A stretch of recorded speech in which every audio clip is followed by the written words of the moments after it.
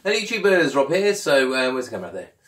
Hello. Um, sorry it's been a while. I'm not really invented much since. I've been doing the patio outside ready for summer, which uh, isn't arriving anytime soon. I think we're due for some snow a bit later on. So it's Good Friday. Happy Easter everyone.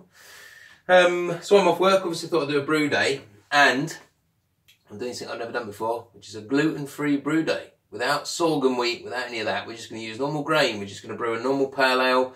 Um, I've got normal uh, Maris Otter, Munich malt, uh, Fuggles and Cascade for bittering and a bit of Citra at the end.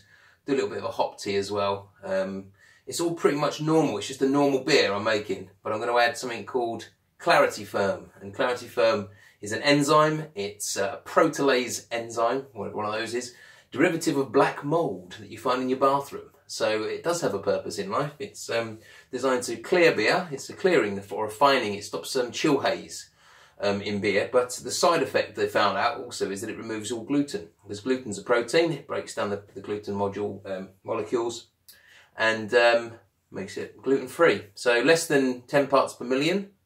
And to be gluten free in the UK, it has to be listed as less than 20 parts per million. So no real um, impact to flavour or anything like that. It's it's used by commercial breweries to make the beer clear, and that's that. It just has this lovely side effect. So, yeah, I mean, total revolutionary um, concept, and I'm so pleased that they've done this because I get quite swollen. You might have seen videos of me where I'm real jowly. When I go from slim, I think I do anyway, maybe I don't.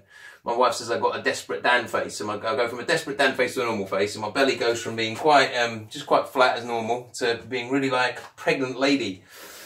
So, yeah, I'm hoping that this is going to solve all my woes, make me allow to allow me to make sorry um, normal beers, um, but without the gluten. So what you do is you brew as normal, you boil it up, you do exactly what you do, and just before you pitch the yeast, you also put the Clarity Ferm. It's a little vial, um, just look it up, Clarity Ferm. It's actually Brewers Clarex, it's just the, the, the term they give to um, White Labs. White Labs have the right to kind of dilute it and sell it to us. It's about £2.50, £3 a vial. It's not the end of the world price-wise. Um, so yeah, um, this is uh, my going in device, my one-handed doing in device. People wanted to see this in action. So here we go. First time we're ever going to use this. Um, we'll see, see how we get on.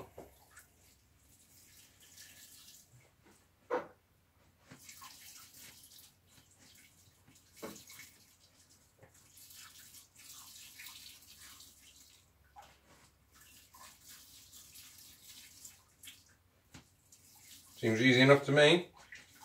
I'll be coming out of the flow I thought it would actually. There we go, get it going. Come on, you.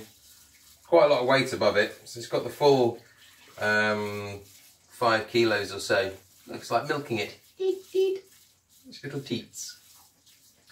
So yeah, this is this in action. And then uh, we'll mash, etc. Do the normal thing at the Brewers Clarex.